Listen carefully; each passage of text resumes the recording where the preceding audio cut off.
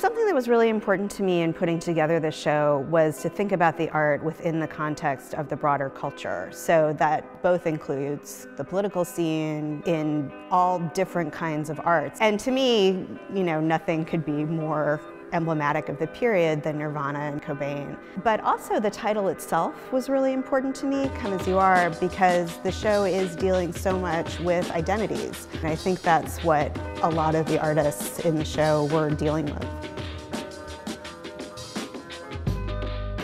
The art world as we know it now, which is so globalized, which is so small in many ways, really came into being during this time. And it was a period when contemporary art as we know it now was really invented. And I was thinking a bit about the anniversary of the 1993 Whitney Biennial, which was so controversial and such a landmark show, and that really was a moment when very politicized art was embraced by mainstream institutions.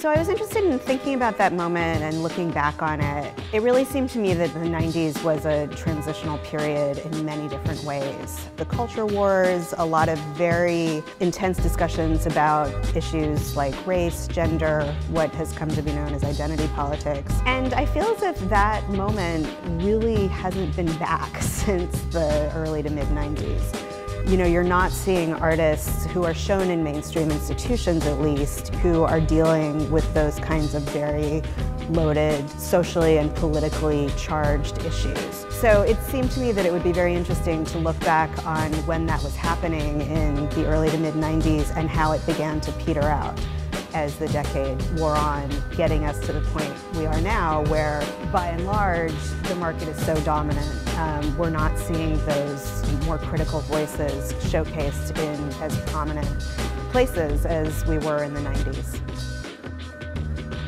I'm very hopeful that it'll, it'll help start a conversation about art that does have this socially engaged perspective.